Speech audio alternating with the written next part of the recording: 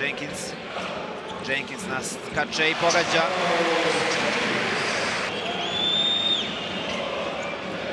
Stvari, pogađa. Probao je Jenkins eh, da zakuca. Pokušava Simonović! Mitrović napolje za Lazića. Jenkins opet za tri. Trojka Jenkinsa! Prišao je Kuzmić da postavi blok, Jenkins probija Loa, Jenkins do kraja, Jenkins. Jenkins vraća trojku, Charles Jenkins.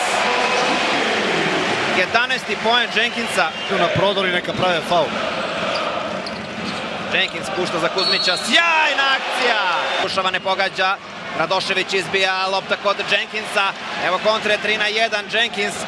Jenkins do kraja snažno.